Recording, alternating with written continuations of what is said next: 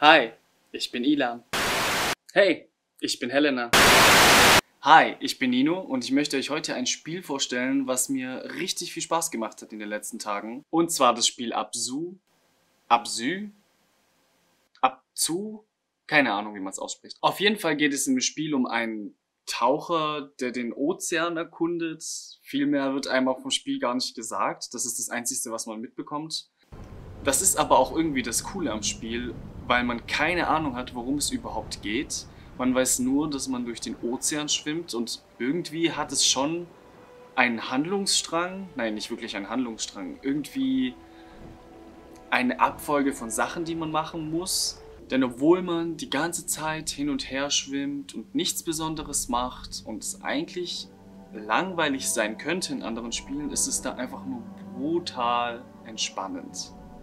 Und ich meine wirklich entspannend. Ich gehe normalerweise immer so um 2 Uhr nachts erst schlafen, weil ich kann früher nicht einschlafen. Seitdem ich dieses Spiel abends spiele, gehe ich um 23 Uhr schlafen, weil mich das Spiel so runterbringt und so müde macht, dass ich direkt einschlafe. Es gibt verschiedene Perspektiven, in denen man spielt. Das wechselt dann zwischendurch immer und dann hat man so seinen kleinen Roboter, der neben einem mitschwimmt oder man hat Wale, mit denen man mitschwimmen kann. Man schwimmt da so schön durch die Unterwasserwelten und es gibt, glaube ich, sowas wie eine versunkene, vergangene Gesellschaft, die man erkundet. Jedenfalls habe ich sowas gelesen. Im Spiel wird einem das nicht wirklich klar.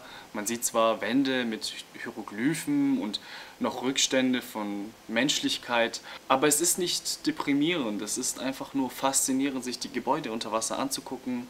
Also wenn ihr Bock habt auf ein Spiel, das total faszinierend gestaltet ist, wo man in verschiedenen Korallenriffen rumschwimmt, wo man sich alte Gebäude unter Wasser angucken kann, und richtig, richtig tolle Filmmusik hört, Filmmusik?